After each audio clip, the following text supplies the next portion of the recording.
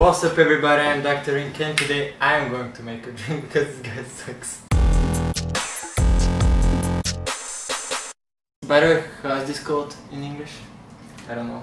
Pomegranate. Pomegranate. I don't know. Blueberry and red orange. What? Nice. Nice, right? Let's go.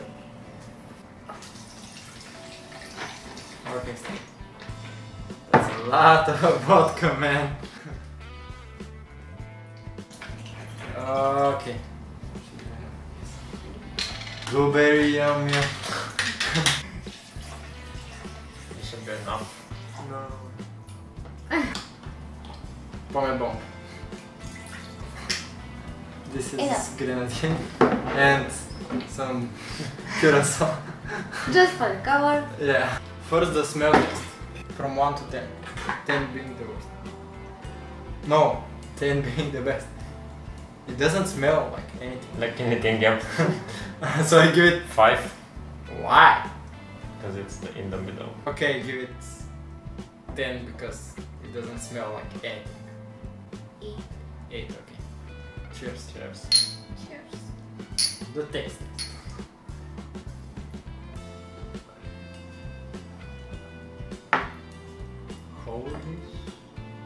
More. You don't like this?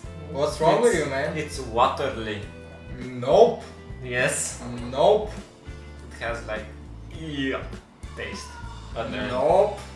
He doesn't like anything blue, reddish, and yeah. It looks like a galaxy by the way. Uh, okay, how much do you guys give it on the taste scale? six. Eight. Eight. Mm. Two, yeah. And alcohol taste? Zero. Zero. Didn't taste it. Maybe three, two. Three, yeah.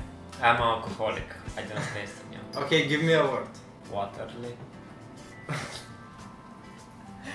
Okay. Waterly. Waterly. Rainbow shots. At least you have something to drink on the next game. Any day now. Early. Really. Waterly Airly Galaxy. Best cocktail ever made. 10 out of 10. IMDb. okay, we'll play Towers.